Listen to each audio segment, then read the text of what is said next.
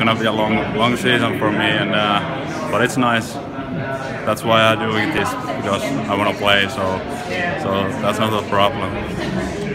I know Pretty nice. I, I heard a lot. We have a good team next year, and uh, the Windsor is what I heard. is it's a good place place to play and live. So I'm waiting for that.